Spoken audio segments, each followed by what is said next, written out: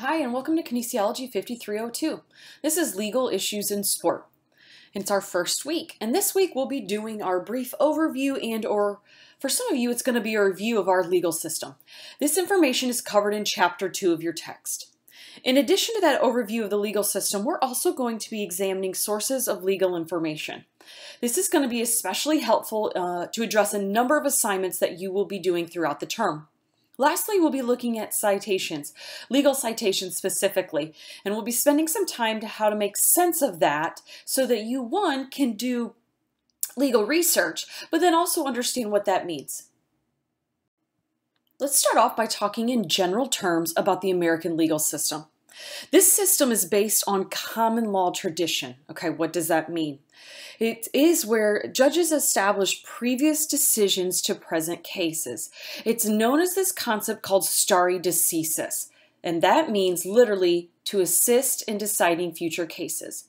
We'll spend a bit more on that concept in a few of the coming slides.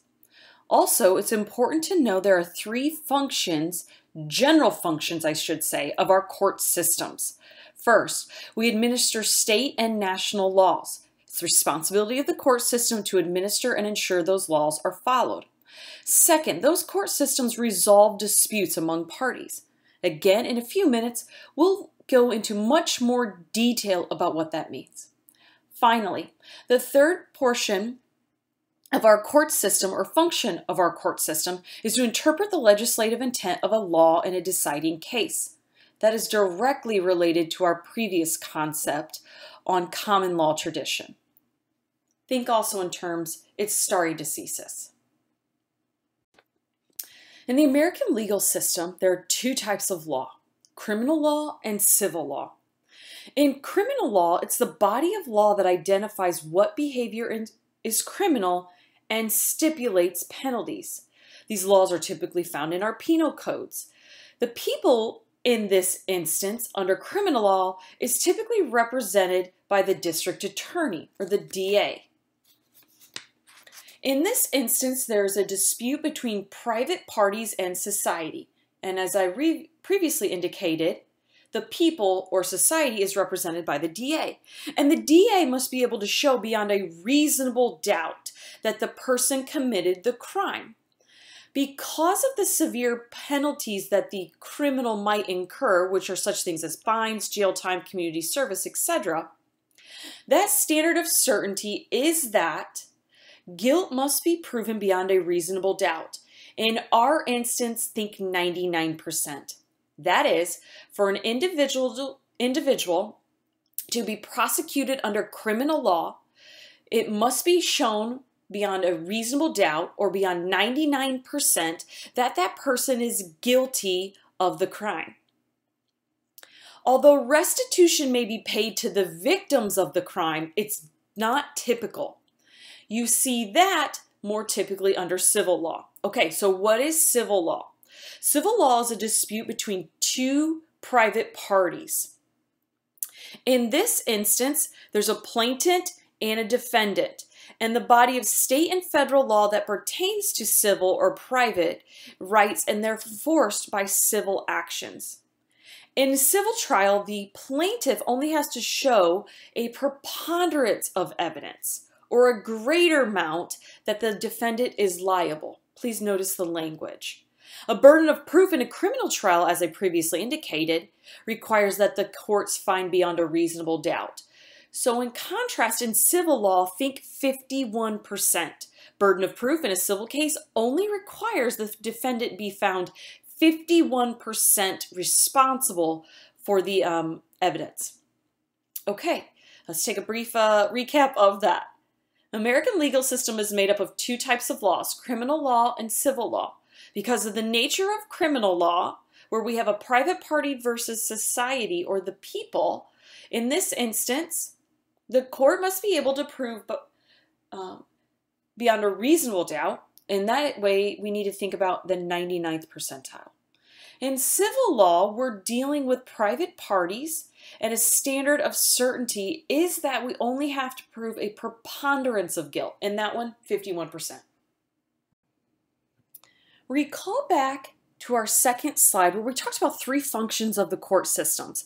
And that first function was that our court system have to administer state and national laws. Okay, in that case then, what are the sources of our law? We already indicated that the American legal system is based on a common law system or common law tradition. So what does that mean? In this instance, our state and national laws, or our court systems rather, have to employ that system of stare decisis. That is, they have to use prior court decisions to guide similar and or future cases. It's typical practice for equal and lower level courts to follow the legal precedents or those prior decisions that have been established by higher level courts. Our second source of law, then, that our court systems have to administer, constitutional law. Obviously, this law is expressed in our Constitution and approved uh, the 10 amendments that are known as our Bill of Rights. The Supreme Court ultimately interprets the Constitution, and in, do, in doing so, they define our rights and our government boundaries. So, some things additional in our constitutional law. This sets forth the basic organization, powers, and limits of our government. It also indicates any statute, court ruling, or administrative rule cannot contradict the Constitution. So, our first two sources of U.S. law are common law it's heavily based upon stare decisis or those legal precedents, and two, constitutional law. This is based on our 10 amendments to the Constitution and or the Bill of Rights. Our third and fourth sources of law are statutory law and administrative law. Statutory law comes from a combination of the following. It's statutes, and those are created by state and federal legislators, and they are indeed enacted laws. Or those can be ordinances. Ordinances are those laws that are enacted at a more local level, city and county government. A couple examples of we can think of regarding statutory law would be Title IX and our uh, Americans with Disabilities Act. Those come at both the federal level. Our Volunteer Immunity Act also comes at the federal level. Amateur Sports Act also would come at the federal level and is a statutory law. Some more specific ordinances you may find at the city and county government level might be such things as curfews, garbage laws, and the like. Last, administrative laws are last and final source. This is where administrative agencies, and these are specialized bodies that create uh, legislation at our all three levels. It can be local, state, and federal.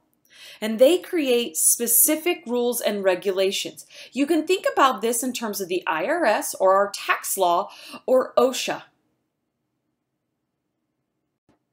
Let's look at a quick overview of our legal system structure. Please notice the parallels between a state structure and a federal structure. You can also think about this as the path of law. That is, when court systems address certain situations, it typically starts out at our lower courts. That's a trial court at the state level or the district court at the federal level. It then can move procedurally up. At a state level, it's the Court of Appeals being next, and at the federal level, the U.S. Court of Appeals. Finally, if those issues make the highest court, and at both the state level and the federal level, that would be our Supreme Courts. Again, think about this two ways. Not only our structure, but we could also think about it as the path of law. Let's talk a little more about our legal system structure. On the left-hand side of our slide, we see federal courts. If we think about starting from the bottom, our lower federal courts would start with administrative agencies and specialized courts, as well as that district court. If the law or issue makes its way up, it then would make its way to the Court of Appeals. There are currently 13 Court of Appeals, and Texas is in the 5th District. If going past the Court of Appeals, we make our way to the Supreme Court. In addition, what does the Supreme Court have jurisdiction over?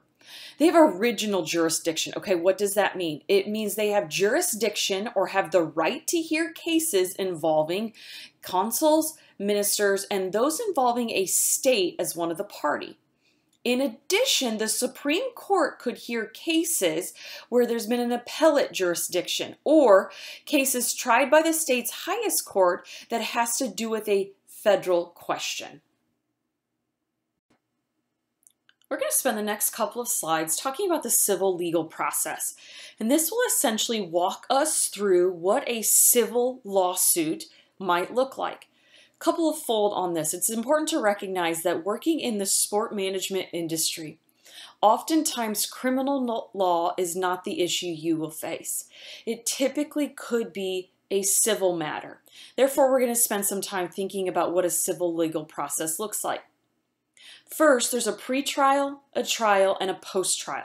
We're going to talk our way through some of those steps in a couple of the coming slides. Remember, because this is civil law, it's important to recall the plaintiff only has to show a preponderance of evidence. Of what does that mean? Greater amount, think 51%. We're going to begin by starting about some of the components of the pretrial. And I'm going to make and explain these components through an example. I think that'll help us. Let's just say, for example, we have a collegiate athlete, Pete the pole vaulter, and he was hurt while pole vaulting because he believes he has a faulty pole vault pole. Therefore, Pete the pole vaulter is going to sue the maker of the poles, Pacer. So in this instance, the complaint is that initial pleading filed by the plaintiff. Pete is our plaintiff. He's again filing a plea that he's suing Pacer Pole Company for negligence for making faulty equipment. So, who are the parties involved in this instance? The plaintiff is the person that brings the action. This is Pete, the pole vaulter. The defendant, or the person for whom relief or recovery is sought in this legal action, is that pole vault company maker, uh, Pacer.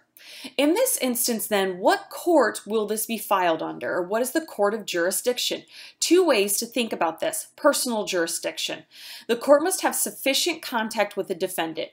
In this instance, it would be under the place at which Pete was pole vaulting and was injured. Where was he located? It's also clear to recognize that Pete might have been pole vaulting in, say, California, and Pacer, the pole vaulting company, might actually be located in New York. Also, there's an option that we need to think about that subject matter also might be a jurisdiction. The court might have authority to hear the subject matter and in difference from particularly the personal defendant. Okay, so that gets us few, through a few components of the pretrial. We'll hit a few more in the next slide. We have four more components of a pretrial we need to consider. First is the summons. This is the actual serving of the notice. We can think about it this way. This is where a process server would serve the Pacer pole company that has made the faulty pole vaulting poles and tell them that they are being sued by Pete the pole vaulter. The answer would serve as what the defendant, or in our instance, Pacer pole vaults, what their response is. We also have a period of discovery, and this is a time for both sides, both Pete the pole vaulter and Pacer the pole company, to try to make sense and get all of the facts in place. After all of this, we come to what's called pre-trial motion. And this is where we may have this notion of getting a strategic advantage uh, in position for that upcoming trial. Also in pre-trial motions, if in our instance or our example, Pete the pole vaulter and Pacer Pole Company, if there's any chance of a settlement being agreed upon before going to trial, it will be done here in these pretrial motions. Again, make note, we've gone through seven pretrial areas before we have even taken an issue to court. If we've determined then that the issue is indeed going to court, we will move on, and that's where we'll go next. The following are the components of trial.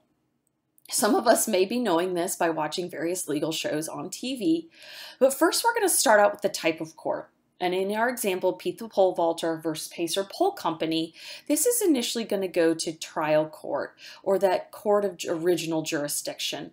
If there is ultimately an appeal, then it would move on to the appeals court. In the trial, in and of itself, there's obviously things potentially as jury selection, opening and closing arguments, direct and cross examinations. Plaintiff goes first in this instance, the defendant follows, then closing arguments. And as we know, in any trial, there's ultimately this rendering of decision or judgment. Please note, in our instance, we're talking about a civil issue. So typically there's no jail time in question. What's being in question oftentimes is uh, restitution. So, what happens after the judgment has been offered in the trial? That judgment might stand and the case would end there. However, in the post trial, we have to recognize there might be appeal process. The appeal is brought forth by the person or party that lost. And in doing this, they want to appeal the losing judgment. There are a couple of reasons why an appeal or how an appeal can be made. The plaintiff feels they did not have an opportunity to state his or her case at trial. The evidence was incorrectly allowed into or even disallowed at the trial. And it can be argued that the interpretation of the law was done so incorrectly. Those are three potential reasons why a, an appeal could be brought after the original judgment was made. Now that we've given us a refresher of our legal system, I want us to move on and talk about then how we can get or gather this legal information. This is going to be important for us going forward as we'll be doing a number of assignments that's going to require this very concept of legal research. There's two ways to think about legal research or gathering legal information. And for many of you, this would parallel some of the research you've been doing at an academic institution anyways. There's first primary sources. Primary sources are one thing, they are the law. But remember, we can have different sources of law. Think back to our four sources that we talked about that we can have with law. One is the US and state constitutions. We have federal and state statutes. We also have court rulings, common law. You can think also about that as case law. And finally, we have those regulations. Those laws, in and of themselves, are primary sources. We also have secondary sources. These sources are often done to help us understand and interpret the law. These can be where they examine, inform, or review the law on various legal issues and topics. We find this in law review articles, professional journals, one concept of that or example of that is the Journal of Legal Aspects of Sport. That one will be timely and aptly applied for your own research. We also could find that those secondary sources might provide definitions through legal journals, excuse me, legal dictionaries to help us understand our terms. Two important ways to get this. Primary sources is the actual law, it's the main source. Secondary sources help us then interpret the law, and or the primary sources. Throughout the remainder of the term, we're going to be looking at and addressing a lot of legal pieces. Most of those are cited with a legal citation. This breakdown gives us a little bit of information, and the next slide will go into even more greater detail on what this means. First, listed in a legal citation is always the case name. It's the plaintiff versus. I'll talk more about that in detail in just a second. Legal citations are also done in a reporter where they have to be put in some type of area. Think about it like when you at the local library, it's the library call card. This helps us know where this is located. The next piece of information then is the volume number. It's in volume 55. The third piece of information tells us the name of the reporter.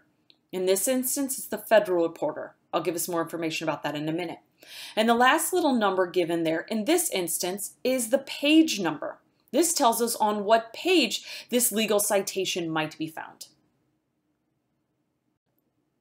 Let's get into a bit more detail about legal citations. As I said in the previous slide, our first piece of information on a legal citation is the parties involved. In this instance, it's Frederick v. Morse, Frederick versus Morse. As with any legal citation, the first named party in the citation is the one bringing the suit. That might be the plaintiff, the appellant, or the petitioner. Regardless of that, they're the one bringing the suit. The second name listed, and in our example, is Morse. This is the one whom the suit is being brought against, whether that's the defendant, appellee, or respondent. It is the one the suit is being brought against. Okay, our which would now be our fourth arrow, we're talking about the number 439. This tells us that Frederick v. Morse, the outcome of this case will be published in volume 439. Think library calling card. It's in the fourth, excuse me, the Federal Reporter third series. That's the F3D. That tells us what book or reporter it's in. And we can find that page number on 1114. That would give us the exact location of where we could find the outcome of Frederick v. Morse. The last piece of information tells us where this decision was ultimately decided and it was decided by the U.S. Court of Appeals. Notice because it's a circuit court, it's that Ninth Circuit. Go back to our slide where we talked about Supreme Court and what that looked like and the breakdown. We should make note then that that Court of Appeals is a circuit. Finally, when was this decided? It was decided in 2006. It's really important to make note of this. Frederick v. Morse might actually have started their lawsuit in 2004. Maybe it's possible in 2004, Frederick brought a lawsuit against Morse. However, 2006 is the date that's given in the citation. Why? Because it tells us the year the case was decided. Please note that oftentimes as you read legal cases, you'll see that the case was brought or initiated several years prior to the decision. The 2006 date, as in this legal citation, represents the year of the decision. Okay, that concludes our week one lecture. We've given a breakdown of our legal system. We've talked about where we can get legal information, particularly because this is going to be helpful in our coming assignments. And we've also given ourselves some context to what a legal citation looks like. It's important to note there's a bunch of information important information that you can find just in that legal citation. I look forward and I'll see you next week.